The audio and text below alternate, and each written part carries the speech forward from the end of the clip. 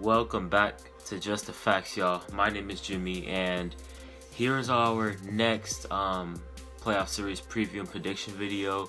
As y'all can tell by the title and thumbnail, we got Hawks um, versus, well, Knicks versus Hawks. There we go.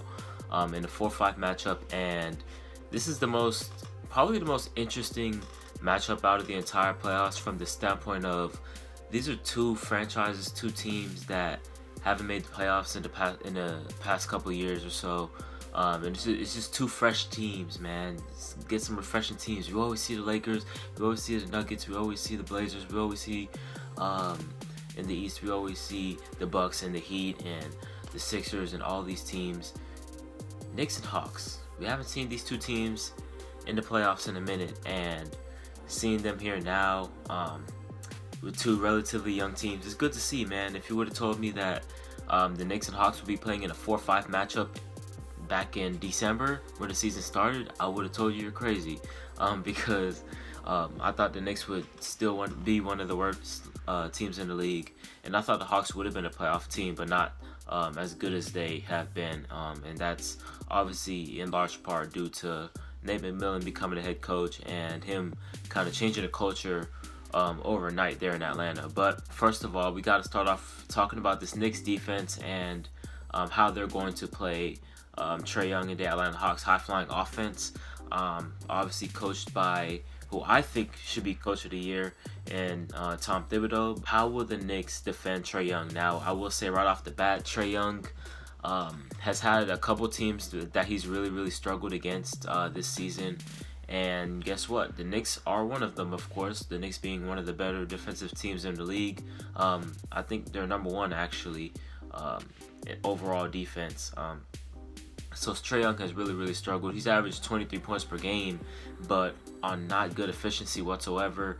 Um, he does get to the line a lot uh, versus the Knicks. So him getting to the line obviously is going to be a big thing here because the Knicks aren't going to give you anything easy. Yeah, they might um, foul you a little bit too many times, but um, they're not going to get you. They're not going to let you get easy looks. Um, and obviously, in this playoff scenario, Trae Young's not going to get easy looks coming off the screen. Trae Young going to the free throw line is going to have to be imperative for him. Um, that's first things first. Um, Elfrid Payton and um, Frank Ntilikina, whenever he comes into the game, they do a really good job of, and not to mention Derrick Rose, they do a really good job of guarding guys, um, especially Payton and Ntilikina playing Trae Young, um, as well as they did in the regular season. Um, I expect that to um, kind of extend here throughout to the playoffs. Now with Trae Young, we're obviously going to see a ton of pick and rolls with Capela and John Collins, um, and it's going to be very, very interesting to see how the Knicks guard that and how, how well they guard that action. Um, because obviously Trae Young is one of the best in the floater games in the league, but he's also one of the best uh, with the lob threat uh, to Clint Capela, who's, who's one of the better lob catchers in the league. Uh, so is John Collins, uh, by the way. Um, so Nerlens Noel having to, you know, kind of guard Trae Young, make sure he doesn't get into that floater game, and kind of um, guard the rim at the same time. Um, obviously, he's going to have help, but Nerlens Noel is going to have to be disciplined. I know that's one thing he's really struggled with over his the course of his career, but he has been exceptional this season, and that's due to a large part that he is more disciplined. He's not jumping for everything like he used to, and then obviously the guys helping off of that. The Knicks are obviously a great defensive team.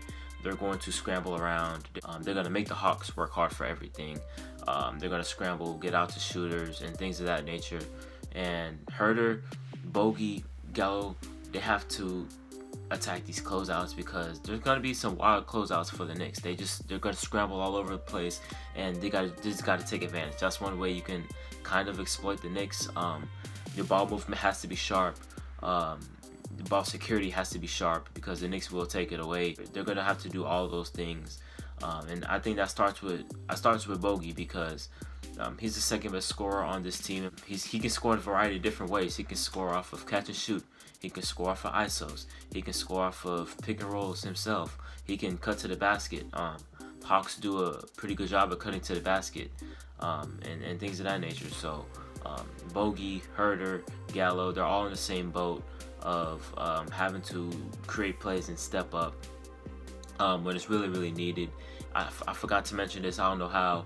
Another thing that would help out the Hawks a lot offensively in this series is John Collins making the right play um, off those off those pick and rolls with Trae Young, as well as Capela to a lesser degree.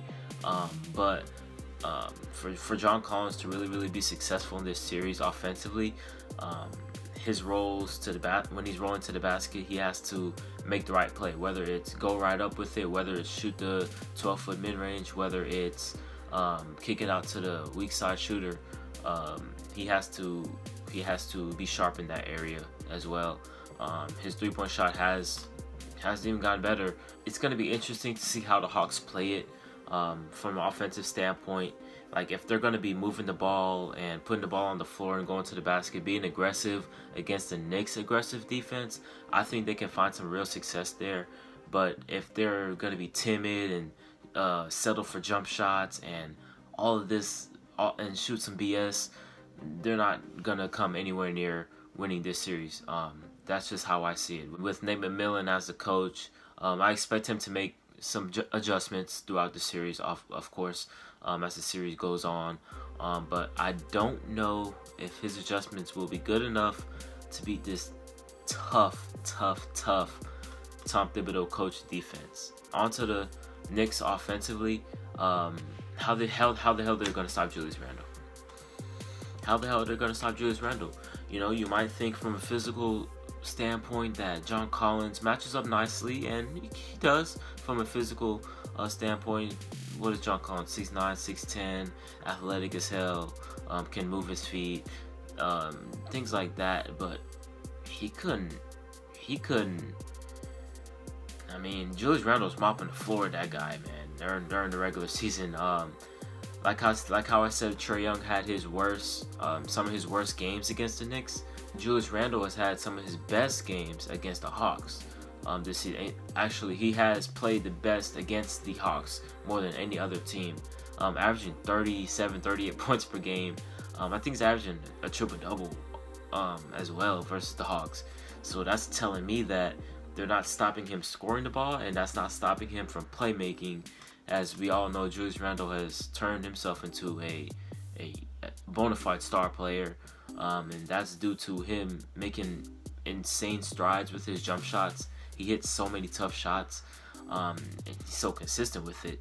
And from the standpoint that his vision is so good, his passing ability um, is so good. Out the post, he can play a little bit of point forward, um, and he he can just do a lot of things, man. And the Hawks just they just have they just don't have an answer for him maybe John Collins just needs to play better and just needs to be a little more aggressive towards him um, and physical towards him. Um, but even then, like Julius Randle's a strong ass dude, so I don't know what they're gonna do, man. Maybe you put. I was thinking about this series, man, and I was like, maybe you put more size on him and go with Clint Capela on Randle, but maybe Randle's handle's too good for Capela to even, you know, stay in front of him. Um, I was just trying to find a couple solutions for the Hawks defensively. Maybe it's just load up on them. But I was thinking about, hey, what if the Hawks load up on them? Well, like I just said, Randle is an exceptional passer, averaging what six assists this season. He's going to find RJ Barrett open. He's going to find Derrick Rose cutting to the basket. He's going to find Reggie Bullock wide open for three. And there's nothing you can do at that point, man. You have to, I guess, pick your poison here, and you have to live with something. Either you know let Julius Randle go off and you stay home on shooters, because the Knicks they have half their rotation is shooting over 40% from three. RJ is shooting 40% from three. Rose is shooting over 40% from three. Reggie Bullock is shooting over 40% from three. Um, Frank Ntilikina is shooting over 40% from three. Although that might be a little bit deceiving. Like these guys are not missing shots like that. Um, although they don't really shoot too many three pointers. Um, they're actually towards the bottom in the league in like three point attempts per game. Um, but they are like top three in, in percentage. I think the biggest thing for the Hawks defensively is are they going to scramble back? Because there are going to be moments in time where they have to double Julius Randle. He's just that good now. There are going to be moments in time where they have to get out to Reggie Bullock, who's shooting 40% from three. They're going to have to get out to RJ Barrett. And if the Knicks are moving the ball correctly, they're going to have to force the Hawks to scramble. And with the Hawks not having, in my opinion, not having the personnel to really, really be successful in scram in scrambling defense, I think that can bode well for the Knicks. Like I think DeAndre Hunter is gonna play in this series. Um, he's gonna help out a little bit. Uh, he's a long, athletic, switchy, switchy type of defender.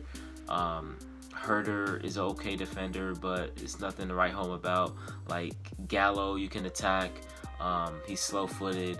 Like Bogey, he's not as fast laterally. Like and obviously Trae Young, you can you can attack. He's he's miniature. Now D Rose is also going to be a big part of the series. It's not just all Julius Randle. D Rose has been absolutely outstanding. RJ Barrett has been absolutely outstanding. Immanuel Quickley has been absolutely outstanding. Although I don't know how much he's going to play in this series.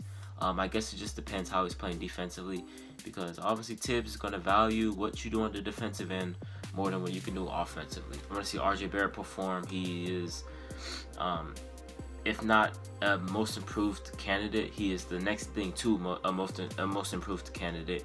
Um, he's been absolutely amazing this season. I don't see a way these the Atlanta Hawks beat the Knicks, man. I just I just don't unless unless Trae Young just goes nuclear or something like that, or you know, I can see the Hawks win, winning in this way. If Trae Young, Bogey, Gallo, Huerter, if if like three of those four guys average 20 plus and on on a really good efficiency, I don't really see that happening with this Knicks defense, man. They're so disciplined, man. Both sides of the ball, honestly. It's like they don't really turn the ball over too damn much. Um, like they know what to expect out of Tom, Tom Thibodeau knows what to expect out of them. With that being said, give me the Knicks in six. I'm rhyming with that one. I'm gonna go with the Knicks to win this series in six games. Um, I expect it to be a really good series though. I could see it going seven um, with the Hawks, but probably be that probably that by that point, um, Trae Young's like exhausted of being double teamed all game long, being trapped all game long. Um, so I'll go with the Knicks in six, man. Um, this is gonna be a real interesting and fun series. Um, a refreshing series, man, to say the least, man. It's gonna be it's gonna be pretty fun to see, man. Um, but y'all, let me know what y'all think about this series, man. Knicks Hawks. I think it's gonna be an interesting series, man. Um, who wins and why? With that being said, this is Jimmy from Just the Fax, and I'm signing out. Peace.